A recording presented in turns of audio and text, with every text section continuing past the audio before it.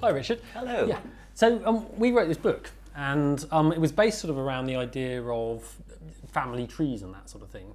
And I guess most people are sort of used to the idea of a family tree, but what's happening at the DNA level is, I guess, the realm of biology. Well, yes, and I think that was a thing that we really came up with and explored in a, in a big way was the distinction between counting family trees at, at an individual body level. You know, you're, you've got four grandparents and eight great grandparents and 16 great great grandparents and so on until they start overlapping, and which they will, they've got to. But you could also do the same thing for every gene in your body. Um, every gene in your in your body can trace its own family tree back and has an has an origin at some point, uh, and has a number of and that origin has a number of descendants. Not all human. Yeah. It's a very wonderful idea. Yeah, actually. it's a- It- it's- it- yeah. the, the lo- lovely idea that each each gene has its own idea of the family Mm-hmm. tree. And from from men, from many points of view, you and I are quite distant cousins. But from certain points of view, from the point of view of certain genes, we're probably very Yeah. close cousins, and Yeah. not very close, but I But- mean but, closer. yeah, closer, exactly. With respect to that particular gene. yeah, or, or Yeah. section of DNA. I Yes. Um, and I guess one of the interesting things is that while the family tree, as you go backwards, your genealogy, your family tree sort of expands, the, the one of any one particular gene starts con, sort of contracts down into individual lineages. And we, th- this is what this, this picture we had in the book sort of represented, in that these were the great So grandchildren. there's Albert and Victoria right. there. Yeah. And uh, these must be all the, the other the other ancestors of the of Albert and Victoria's descendants. And this line traces the haemophilia gene. Yeah. Some of whom were female and therefore didn't didn't actually have haemophilia. Some of whom were male who did. So Yes. this is, if you like, the black is the family tree, and Yes. the red is just tracing one gene tree, and it goes back and back and back and contracts in time until it comes back to one. yes. And you can do that with eh, presumably any gene. You could do it with any gene. I mean, it's, haemophilia is easily labelled, easily marked. You know, you know who had haemophilia. These poor guys all died of it, probably. Um, and so, so that's just a, a tracer marker. Yeah. Um, and you could have done that with any of your genes. It would make a similar pattern. And this is the thing. This is effectively what we're doing with mitochondrial Eve.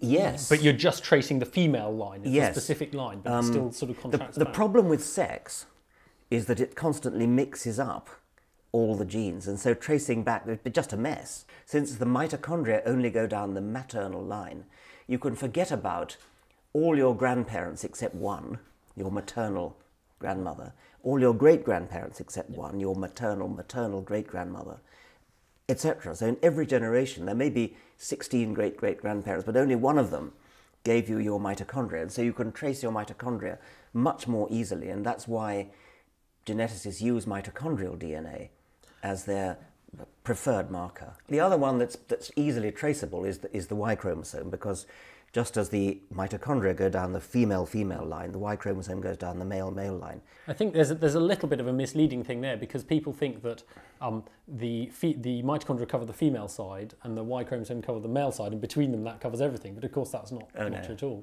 because they only cover that one way, one- that single one. line back That's, straight. that's right. yeah. But it is interesting to, to ask whether Y chromosome Adam ever met mitochondrial Eve, and the answer is absolutely, almost certainly not. And, Uh, and also because um, because males have a much bigger variance in reproductive success. Some Yeah. of them have hardly any offspring, and some of them have loads, and that means that their family trees collapse to a point much more quickly. how many offspring did Moulay Ishmael the bloodthirsty have? did? More than 800, anyway. so the chances are pretty good that we're descended from him. Yeah, yeah. Well, that's true. And Genghis, Khan, as Genghis well. Khan. Yeah. Um, Yeah. Yeah, there's actually actually evidence that looking at Y chromosomes that some enormous number of the population of Central Asia are descended from one male at about the time of Genghis Khan. I mean, my it's my paternal side that's Chinese, so uh, hopefully I might well be able to, well, you to hope do you, that. you inherit some of his. Yeah, well, we'll see. Well, more for more for intellectual interest than anything Yeah. else. Well, but thank you very much, Richard. That's Well, it's been a really pleasure interesting. as ever, no, Yan. Thank you. you. questions you answer, you find there is to investigate.